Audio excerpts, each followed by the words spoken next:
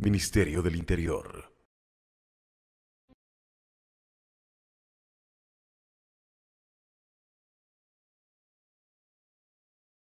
Eh, el billete en sí tiene muchas medidas de seguridad incorporadas, sobre todo últimamente por lo que se refiere al Tesoro americano. La forma más fácil de poder determinar si una moneda es original o no, en primer lugar, es la textura del papel. Si es demasiado rígido o demasiado suave, uno lo puede sentir por lo general. Entonces, esa es la primera advertencia que tenemos que tener en el momento de eh, determinar si la moneda es original o no. La segunda situación, el tema de la marca de agua. La marca de agua es incorporada en la fabricación del papel y los falsificadores no la pueden elaborar. La marca de agua únicamente se la ve a trasluz. Es la única manera de ver la marca de agua.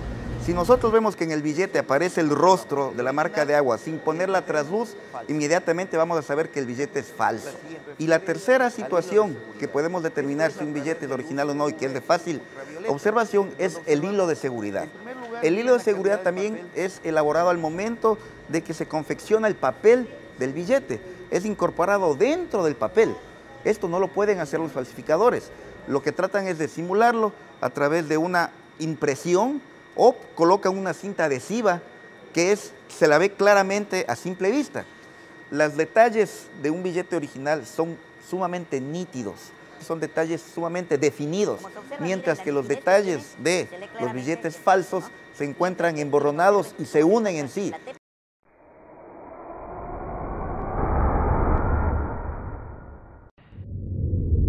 Ministerio del Interior.